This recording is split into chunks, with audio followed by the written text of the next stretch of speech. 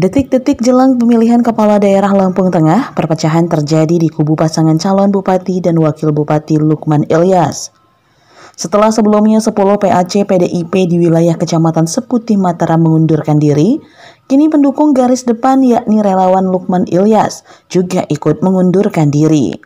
Pengunduran diri ini disampaikan langsung oleh Ketua Relawan Hidayat di Posko Pemenangan Wilayah Lampung Adijaya, Kecamatan Terbanggi Besar, Rabu 28 Oktober 2020. Hidayat mengatakan pihaknya menarik dukungan politik dari pasangan calon Lukman Ilyas. Ia mengatakan pihaknya tidak lagi mendukung Lukman Ilyas dan akan netral untuk relawan peduli sesama.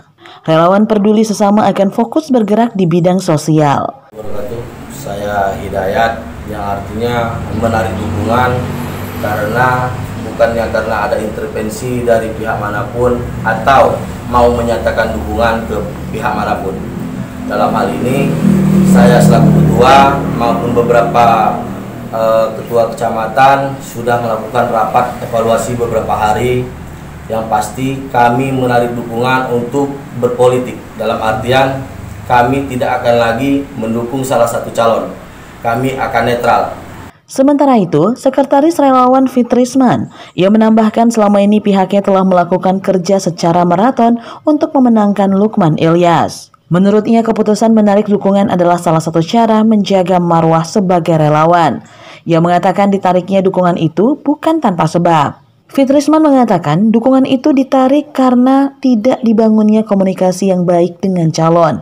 Hingga saat ini MOU antara relawan dengan calon belum jelas. Ya, ini sudah kerja maraton. Artinya rapat-rapat kecil sudah kami lakukan. Membangun komunikasi sudah kami lakukan ke ketua-ketua kecamatan dan ketua-ketua kampung.